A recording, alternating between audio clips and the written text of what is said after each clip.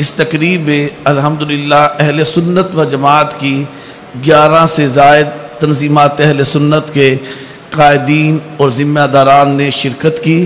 इसके अलावा मशाइ की स्टेज के ऊपर भी और सामने भी देख रहे हैं। एक कसर तादाद है। अल्हम्दुलिल्लाह ये इत्तेहाद अहल सुन्नत का मुँह बोलता सबूत है। ज़िम्मेदारान तनजीमत अहल सुन्नत के कायदीन में से कुछ अहबाब को वक़्त इख्तसार के पेश नज़र नहीं दिया गया। अगर किसी साहब ने ज़रूरी बात करना हो, हमारे जो ज़िम्मेदारान हैं, कायदीन हैं, आप बाद में भी इनके साथ बिलमशाफ़ा मुलाकात करके अपने ख्याल का इजहार फरमा सकते हैं। अल्हम्दुलिल्लाह, बड़ा दिल, बड़ा जिगर रखने वाले ये कायदीन अहल सुन्नत हैं। हमेशा छोटों पर शफकत और बड़ों के एहतराम करने वाली ये सारी शख्सियात हैं जैसा किबला चिश्ती साहब फरमा रहे थे, जो जहाँ तशरीफ़ नहीं लाए, वो भी हमारे अपने हैं, वो भी हमारे साथ हैं। आपको इस बात पर यकीन रखना चाहिए, मनफी गुफ्तु हारगिस नहीं करनी चाहिए। हमेशा मस्बत अंदाज में गुफ्तु करे, जो मशाइ में मोहब्बत बढ़े कारकुनान में मोहब्बत बढ़े, और जो इसकाम पाकिस्तान का बायस बने। मुस्तफ़ी तहरीक के हमारे कायदीन जो हैं, इन्होंने अलहमदिल्ला पूरे डिस्ट्रिक्ट के अंदर शदाबी पाकिस्तान मुहिम शुरू की हुई है, पौधे लगा रहे हैं। इन यहाँ से फारिग होकर ये भी मशाइ के दस्ते मुबारक से जो है, वो पौधे लगाएँगे। अबिला तखीर मुलतमस हूँ सरमाया अहल सुन्नत, मुजाहद तहरीक ख़त्म नबूत यादगार असलाफ हज़रत अलामा अलहाज, पीर मोहम्मद खालिद असद मुजदी साहब जमात सुन्नत पाकिस्तान के रहनमा तशरीफ़ लाते हैं। आप मोहब्बत कीदत के साथ एक नारा बुलंद कीजिए। नारा तकबीर, नारा रिसालत, नारा हैदरी। जमात अहल सुन्नत पाकिस्तान तंजीमत अहल सुन्नत पाकिस्तान अहल सुन्नत व जमात। सुम्मसलातमुख्तार फ़िलकदमी वलहबीबुल्लजी तुरजा शफ़ात लकुल हौल मिनवाल वल आल वसाहब लहम अहल तक़ावनक़ावल हिल्म वलहकमी मौला यल वसलम दाइमन अबदन अला हबीब का खैल खल के कुल्लमी अम्माबाद आउज़बिल्लिमिनशैतानरजीम बसमीम वला तहिनु वला तहजनु व अनतुमलाउना इन कुन तुम मिनी सदक़ल्ला मौलानाज़ीम व सदक़ रसूलनबीकरीम वनहन ज़ालिकलमिन शाहिदीन व शाकिरीन वलमतमिन वलहमदिल्ला सबसे पहले मैं शुक्रिया अदा करता हूँ अपने मोहसन मोहसन अहल सुन्नत अहल सुन्नत के इतिहाद के मेरे इलाके में मुशफ़ शफ़ीक और दर्द रखने वाले और जिनकी सारी ज़िंदगी अहल सुन्नत व जमात के लिए वक्फ़ रही और जिन्होंने अपनी जमात को अच्छे मकाम पर ले जाने के लिए अपनी तमाम तर तोानाइयाँ खर्च फरमाईं और आज भी इस बुढ़ापे के आलम में वो अपनी क़वत मोहब्बत और क़वत ईमान क़वत इस्लाम और क़वत इश्क मोहब्बत इसको मैदान में लाते हुए आप हजरात से इत्तेफाक व इतिहाद की अपील करने के लिए आप हजरात को और मुझ फ़कीर को यहाँ पर उन्होंने इकट्ठा किया। लेकिन हुसन इतफ़ाक़ ये है कि आज istahकाम पाकिस्तान का नाम दिया गया। और क्यों istahकाम पाकिस्तान का नाम लिया गया? इसलिए कि इस पाकिस्तान को आज जितनी istahकाम की ज़रूरत है, शायद इससे पहले इतनी ज़रूरत ना महसूस की गई हो। लेकिन यह बात भी जहन में रखें कि पाकिस्तान का लफ्ज़ जो है, ये हमें किसने अता किया?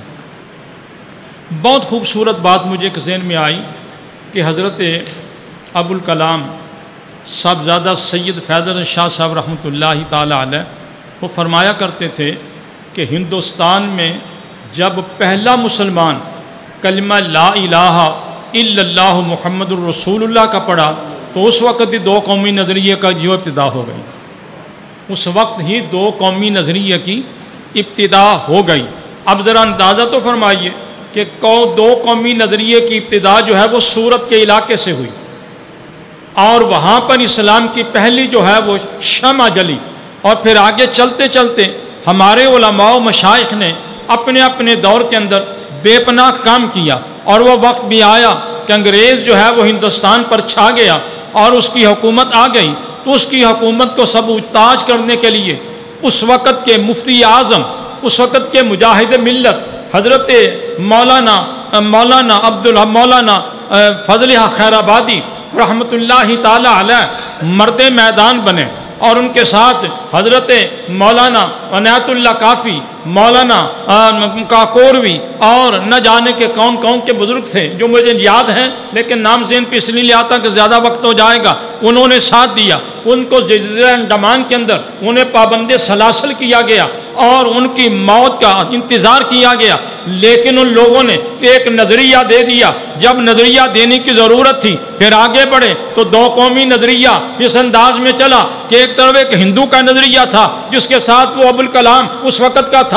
उस वक़्त मौलाना मौलाना मद, मदनी उनके साथ थे और उनके साथ देवबंद भी थे अहल हदीस भी थे और वो ये कहते थे कि नहीं हिंदुस्तान के अंदर इस नज़रिए को पंपना नहीं चाहिए बल्कि इतफाक इस बात पर होना चाहिए कि हिंदू मुस्लिम सिख ईसाई आपस में सब भाई भाई उस वक्त ज़रूरत थी इस नारे को सबूत सबूताज करने के लिए कि मुसलमान और हैं हिंदू और हैं। फिर उस वक्त हमारे उलमा उठे हज़रत सैदी मुहदस कचोचवी रहमत हज़रत पीर मेर अली शाह साहब रहमत आला हज़रत के खलफा मौलाना नईमुद्दीन मुरादाबादी रहमत मौलाना अब्दुल हामद बदायूनी रहमत पीर पीर यू कोट हज़रत मौलाना तकदस अली खान साहब रहमत और किराम उस वक़्त मैदान में आए, आला हज़रत के मुखलफा उस वक़्त मैदान में आए, और उन्होंने आकर के ये बताया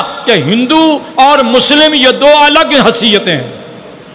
खैर तफसील में नहीं जाना। उस वक्त उन्होंने इस नारे को बुलंद किया। उस वक्त फिर हमें ज़रूरत थी कि सियासी तौर पर कोई हमारी इस आवाज़ को आगे बढ़ाए, हमारा को वकील बने। तो वकील बनने के लिए हमें कायद आज़म मोहम्मद अली जना मिले और जिनको आगे बढ़ाने के लिए अलामा इकबाल ने अपनी तमाम तर तोानाइयाँ उनके साथ खर्च की। और मुझे ये याद पड़ता है सन इकसठ के अंदर मैं एक सीरत कान में एक कॉन्फ्रेंस के अंदर शरीक था। धोबी का फैसलाबाद के अंदर लाइलपुर के अंदर, उस वक्त में मोहद पाकिस्तान रहमत के पास शागिर्द था तो उस वक्त हज़रत मौलाना अब्दुल हामद बदायूनी रहमत आपका खिताब था, एक चिट आई चिट को आपने पढ़ा तो उसमें भी लिखा हुआ था कि आप लोगों ने मौलामाई राम ने, कायद आज़म मोहम्मद अली जना का साथ क्यों दिया? जबकि वो कलीन शेफ था और वो त्रिपू सूट पहनता था और वो इंग्लिश बोलता था। तो हज़रत अब्दुल हामिद वो शख्सियत हैं जो कायद आज़म के सेक्रेटरी थे। कायद आज़म के सेक्रेटरी रहे, उसके वो गोया के, उसके दफ्तरी मामलात, उनके सबूत थे। हज़रत मौलाना अब्दुल हामद बदायूनी, उस ज़माने के अंदर हज़रत मौलाना अब्दुल मेरठी रहमत जो हज़रत हज़रत शामद रजा खां शामद नुरानी रहमत के वालद मोहतरम हैं, और जिन्हें कायद आज़म ने रूस में अपना नुमाइंदा बना करके भेजा था। मौलाना अब्दुल हामद बदायूनी तो हज़रत कदब अब्दुल हामद बदायूनी रहमत से, जब ये सवाल हुआ, आपने वो चिट पढ़ी, और पढ़ने के बाद आपने खूबसूरत जवाब दिया सुबह अल्लाह मैं उस मजलिस में मौजूद था। एनी शाहिद हूँ। हज़रत मोहद पाकिस्तान रहमत की सदारत थी। धोबी घाट का मैदान था। तो हज़रत ने इर्शाद फरमाया, पढ़ करके फरमाने के रहे, समझने वाले, तुमने समझा ही नहीं, तुझे ये पता ही नहीं, हमने उनका साथ क्यों दिया? हमने इसलिए साथ दिया कि उनके नाम में मोहम्मद अली आता है। ये कायद आज़म के नाम में मोहम्मद और अली आता है। और ये बात जेल में रखें, हम हजूर के नाम पर, अहले बैत तहार के नाम पर तो अपना सब कुछ कुर्बान करने के लिए तैयार हैं। कौन है जो असाब कराम का, अहल बैत तहार का? आज का जो महीना है, ये शब यह करब बला का महीना है। और करब बला के महीने के अंदर आज हम इसकाम पाकिस्तान की यहाँ बात कर रहे हैं। और ये बात जेल में रखें। हज़रत इमाम हुसैन ने इस्तेकाम इस्लाम के लिए अपनी जान की कुर्बानी दी। इस्तेकाम इस्लाम के लिए आपने अपनी जान की कुर्बानी दी और उस वक़्त से लेकर हमारे मशाए कुर्बानियाँ देते चले आ रहे हैं। और एक बात और भी जहन में रखें, जब इंतज़ामी उमूर वो साथ न हो तो कुर्बानी रायगा चली जाती हैं, कामयाब नहीं होती। आज मैं ये लफ्ज़ कहने में हक बजानब हूँ पाकिस्तान के अंदर सियासतदानों ने पाकिस्तान के हालात का खलवाड़ा बना दिया है और इन्होंने पाकिस्तान को खोखला कर दिया है। इसके साथ उनका उन अगर सोचा जाए तो उनकी मोहब्बत का अंदाज नज़र नहीं आता। उन्हें अपने जेब का और अपने गोया के माल का, उन्हें मामला नज़र आता है। लेकिन हकीकत तो यह है, अगर पाकिस्तान इस वक्त अपनी नजरियाती अंदाज के अंदर खड़ा है तो यह अफवाज पाकिस्तान की मेहरबानी है। ये अफवाज पाकिस्तान की मेहरबानी है। अभी पिछले दिनों में हेलीकॉप्टर के हादसे में हादसे में बहुत बड़ी हमारा सरमाया जो है, उसमें शहीद हुआ। और यकीन फरमाइए, हम उनको जितना भी खराजी अकीदत पर पेश करें, उतना ही कम है। और उसके अलावा भी मैं कहता हूँ, आज के मौसम में जब हम पंखे के बगैर नहीं रह सकते एयर कंडीशन के बगैर नहीं रह सकते, ये नौजवानों ने अफवाज पाकिस्तान है, जो पाकिस्तान की सरहदों की हिफाजत के लिए सांपों से लड़ते हुए बिच्छुओं से लड़ते हुए हुए, हमारी सदों की हिफाजत के लिए वो वहाँ पर खड़े हैं। ना उनको दिन की परवाह है, न उन्हें रात की परवाह है, और वो वहाँ पर अपनी ड्यूटियाँ दे रही हैं। अगर हम शहर के अंदर कामयाबी के साथ ज़िंदगी गुजार रहे हैं, ये वाज पाकिस्तान का सदका और ये एक बात भी जहन में रखें ओलमा को सियासतदानों ने अपनी ज़ात के लिए इस्तेमाल किया, पाकिस्तान के लिए नहीं। पाकिस्तान के लिए नहीं। अपनी ज़ात के लिए इस्तेमाल किया। और हमारे मशाइ हमारे उलमा नाराज़ ना होना इस बात पर। वो गोया के हुए वो वो इनके लिए इन, इनके आलकार बने लेकिन नतीजा क्या निकला? कि वो जो चौहत्तर का आइन है, वो भी सबूताज हो गया। और वो तिहत्तर का आइन जो है, वो भी सबूताज हो गया। और वो वो, जो तहरीक, वो, जो अड़तालीस, सन अड़तालीस के अंदर करारदाद मकासद बनी थी, वो भी सबूताज हो गई। आज तक उसका नामो निशान नहीं। उसकी वजूहत क्या हैं? कि मन अज बेगान का हरगिज ना नालम, के बामा नाच कर आशना कर आपस में अगर हमारा इतफाक होता तो यकीन फरमाइए पाकिस्तान का नक्शा कुछ और होता। पाकिस्तान का नक्शा कुछ और होता। ये ये इतराज़ करना आसान है। काम करना मुश्किल है। बल्कि मैंने तो देखा जो कुछ करने के काबिल नहीं, वो इतराज़ ही करते हैं। जो कुछ करने के काबिल नहीं और जो सिवाय इतराज के उनके पास कुछ नहीं है, वो यही कुछ करते हैं। लेकिन हकीकत तो ये है कि इतफाक़ इतिहास से आदमी आगे बढ़े तो बात बनती है। पुराना सा शेर है और चलते हैं कि मैं चला था जानबे मंजिल, अकेला ही मगर लोग साथ आते गए और कारवा बनता गया। हज़रत कायद आज़म मोहम्मद अली जना के साथ उनके मुखालफत करने वाले वक़्त के बड़े बड़े उलमा थे बड़े बड़े मशाइ थे, जिनके बारे में अलामा इकबाल ये कहने पर मजबूर हो गया कि सरूद बरसर मंबर के मिलत अज वतनस चब खबर जे मकाम मोहम्मद अरबीस, जी, अजम ना अजम हनूज न दानत, रमूज दी मरना, दी वरना, जे उस, जे देवबंद हुसैन नाम चेबुल आजबीस, हकीकत तो ये है, और मौलाना ज़फ़र अली खां, जो मेरे ज़िले का सपोत है, उसने उस दौर के अंदर कहा, उन्हें कहा कि हरारी मुल्ला, क्या बताऊँ है, गांधी की पॉलिसी का अरबी में तर्जमा है। जी, हकीकत तो ये है, मेरे अजीज़ों, आज हमें जिस इस्तेकाम की ज़रूरत है, उसके लिए हम गोया के पाकिस्तान की इंतज़ामिया को, अफवाज पाकिस्तान को खराज अकीदत पेश करते हैं और आपस में ये बात यकीन करते हैं, खुदा के लिए बर्दाश्त करना सीखो। खुदा के लिए बर्दाश्त करना सीखो। मैं अब बूढ़ा आदमी हूँ और बुढ़ापे के आलम के अंदर अब तो मैंने लाठी भी रखी हुई है, इसलिए कि मैं बूढ़ा बूढ़ा आदमी हूँ। निशानी मेरे पास है, लेकिन हकीकत तो ये है, मेरा दिल जवान है। जी? मेरा दिल जो है, वो जवान है। और अल्लाह के फजलो करम से, हमसे आज भी कोई, अगर चाहे कि सरहदों पर हमारी ज़रूरत है बखुदा हम जाने के लिए तैयार हैं। और हम, ये इंतज़ामिया के साथ, अफवाज पाकिस्तान के साथ हर अच्छे काम के लिए, अपना दीदा और दिल पेश करने के लिए तैयार हैं, बल्कि अपनी कुर्बानियाँ पेश करने के लिए तैयार हैं। हज़रत मौलाना मोहम्मद हनीफ साहब चिश्ती मद्दा ज़िल्लाली और इनके रफ़ाए कार, इनकी औलाद जो साहिब इल्म अमल है, वो तमाम के तमाम। और आप जितने रफ़ा जलवा फरोज हुए, हमारा एक ही नज़रिया होना चाहिए कि पाकिस्तान का मतलब क्या? अच्छा कल आ रही है चौदह चौदह अगस्त। जो बनया सी ना पाकिस्तान उदों चौदह अगस्त आई सी सताई रमज़ान उदों आई सी सताई रमज़ान तो उदो सताई रमज़ान रब ने इस वास्ते दी ताकि कुरान का जोड़ा नजूल है ना वह भी ध्यान रखो हज़रत पीर जमात अली शाह साहब रहमतुल्ला ने कुरने पाक भेजिया एक अपने मुसला भेजिया ਕਾਇਦ ਆਜ਼ਮ ਮੁਹੰਮਦ ਅਲੀ ਜਨਾਹ ਨੂੰ ਮੁਹੰਮਦ ਅਲੀ ਜਨਾਹ ਨੇ ਉਹ ਜਿਸਲੇ ਵਸੂਲ ਕੀਤਾ ਤੇ ਕਹਿਣ ਲੱਗੇ ਯਾਰ ਗੱਲ ਹੈ ਮੁਸੱਲਾ ਉਹਨਾਂ ਇਸ ਵਾਸਤੇ ਕੱਲਿਆ ਕਿ ਮੈਂ ਨਮਾਜ਼ ਦੀ ਪਾਬੰਦੀ ਕਰਾਂ ਤੇ ਕੁਰਾਨ ਇਸ ਵਾਸਤੇ ਕੱਲਿਆ ਕਿ ਮੈਨੂੰ ਕੁਰਾਨ ਪੜ੍ਹ ਕੇ ਇਸ ਮੁਲਕ ਨੂੰ ਪਾਕਿਸਤਾਨ ਨੂੰ ਪਾਕਿਸਤਾਨ ਬਣਾ ਦੇਣਾ पाकिस्तान को पाकिस्तान बना दें। तो बहरहाल, ये इशारे हो रहे हैं कि अब बात को ख़त्म करना चाहिए। हकीकत भी यही है कि बातें ज़्यादा करने का फ़ायदा नहीं है। हकीकत में ये है, अगर इंसान फ़ायदा ले तो एक लफज ही इंसान के लिए काफिज होता है। लेकिन ज़्यादा गुफ्तु की जाए और उसका फ़ायदा ना पहुँचे तो फ़ायदा क्या है? आज हम, आज जो अफवाज पाकिस्तान के साथ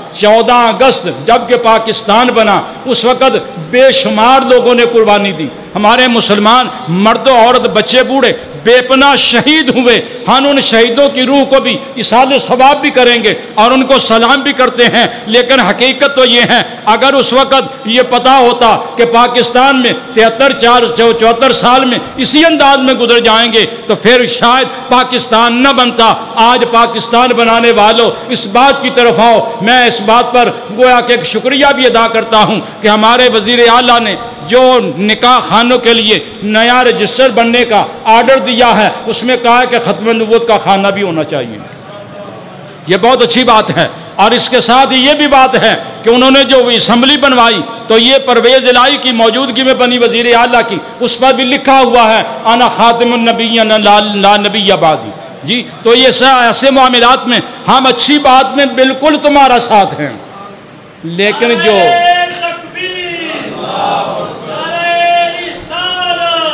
अच्छी बात में हम हम अच्छी बात में तुम्हारे साथ हैं। लेकिन ये भी बात ज़रूर कहते हैं कि सिर्फ़ लफ्ज़ों से काम नहीं चलता। कुछ म, कुछ माशाल्लाह माशाल्लाह तशीफ ले आओ। कुछ जो है वो करके भी दिखाना चाहिए। कुछ हमें करके भी दिखाना चाहिए। हकीकत तो ये है, मैं शुक्रिया अदा करता हूँ अपने इन अफसरान बाला का इन्होंने बड़ी मेहरबानी फरमाई और हमारी हम इस महफिल के अंदर शरीक हुए। लेकिन हकीकत तो ये है, ये हमारे मुहाफ़ हैं, हम इनके दस्तों बाजू हैं। ये हमारे मुहाफ़ हैं, हम इनके दस्तों बाजू हैं और इनको हम पर नाज है। और यकीन फरमाइए, हमें इन पर नाज है। जी, हमें इन पर नाज है और नाज हमें करना चाहिए। जब अफसरान बाला सही हों तो फिर अल्लाह के फजल करम से पाकिस्तान के रहने वालों के लिए कोई परेशानी नहीं होती। चौकीदार चंगा होवे तो चोरी नहीं होती चौकीदार चंगा होवे तो चोरी नहीं होती हम ये कहते हैं कि हुक्मरान अगर चौकीदार सही मानों में बने तो हम कहते हैं कि इस्लाम के कानून को भी नकब ना लगे। इस्लाम का कानून भी नाफिज हो, हमारा सिर्फ़ एक ही मुतालबा है, अगर इस्लामी कानून इस पाकिस्तान में नाफिज हो जाए और यकीन फरमाइए, किसी ने खूबसूरत कहा कि उनके जो हम गुलाम थे, दुनिया के पेशवा रहे, उनसे फिरे जहाँ फिरा, आए कमी वक़ार में। आज ज़रूरत इस बात की है कि हमें पाकिस्तान के अंदर इस्तेकाम पाकिस्तान के लिए कानून इस्लाम नाफिज किया जाए।